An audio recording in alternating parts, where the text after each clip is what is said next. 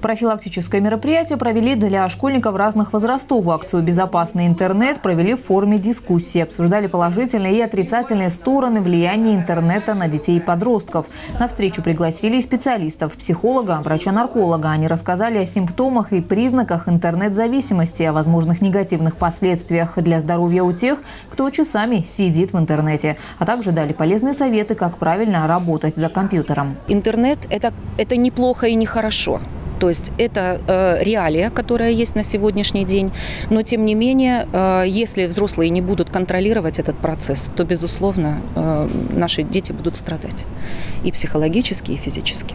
Акция «Безопасный интернет» прошла в рамках оздоровительной кампании «Лето-2016». В этом году вообще решили уделить большое внимание именно вопросам безопасности. Встречу со школьниками каждую среду проводили спасатели, психологи, врачи и полицейские. Также детям рассказывали о вреде курения, последствиях употребления наркотиков. Кстати, мероприятие прошло в одной из городских библиотек. Место выбрали не случайно, ведь книга всегда может стать отличной и, главное, полезной альтернативой, порой бесцельно проведенному во всемирной паутине времени.